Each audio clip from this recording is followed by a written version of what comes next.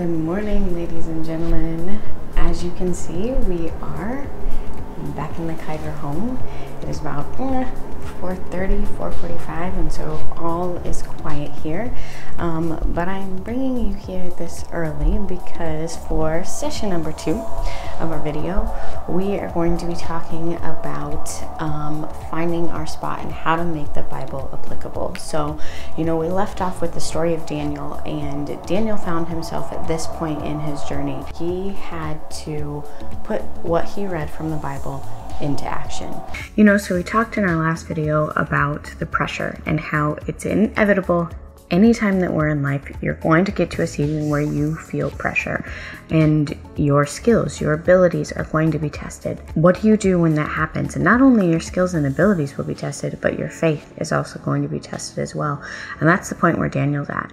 You know, and and in those moments when that when the pressure's on and it's game on, like we said, what do you do? What do you stand on? What foundation do you stand on? And what confidence do you have?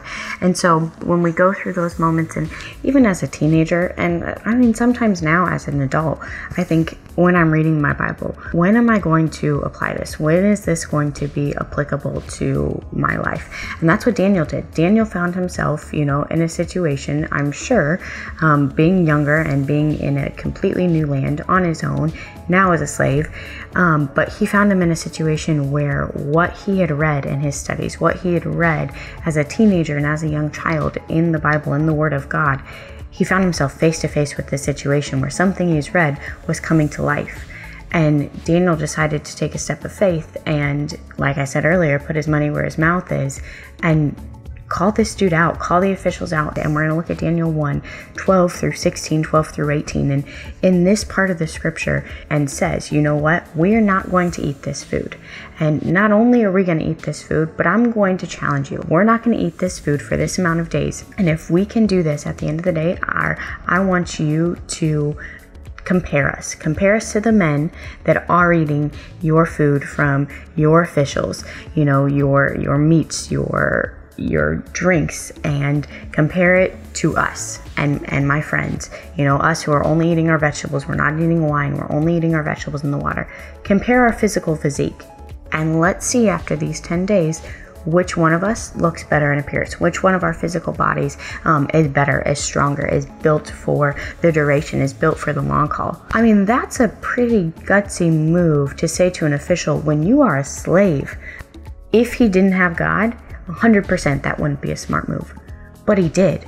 And he knew it because he had a faith and because he had a basis and because he had a foundation in the Word of God that started when he was little. And so he was able to put that challenge out there. He was able to say, you know what? No, game on, buck up, let's get big, face me and my God. Now, how does this apply to you? It applies to you in a very simple way. You getting that application and and you finding your time and your spot um, and getting into the word of god. And so that's why we're in my house today because i wanted to bring you to one of my very special places and that is my living room. And this is very special to me because i'm gonna show this around to you. Yeah that right there is where I have my quiet time every morning. So every morning when I get up, I make my little cup of coffee and I come out here, and this is where I have my quiet time. Um, I'm going to tell you right now, you need to find a spot that is yours, that you can make your own, that you can feel comfortable in. Um, and then your second step is you need to get a Bible.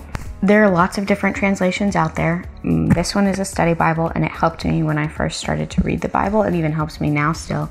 Um, look into things like the message. If if reading is a little bit tough for you, words are a little bit tough for you, the message is a great version that reads more like a story and makes the Bible really um, understandable and really easy to relate to. The amplified version is like the Bible on steroids because it goes into a lot of detail. Like each word has multiple meanings in it. And so if you're someone who likes words and likes to know things in depth, the um, amplified version would be great for you. Do some research.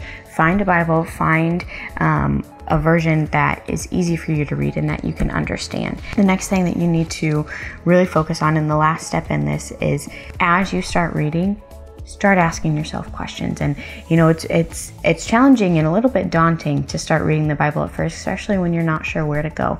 But i'd recommend starting in the book of john. John is a really good book because it's like the love letter of god and it's it's all about god's love.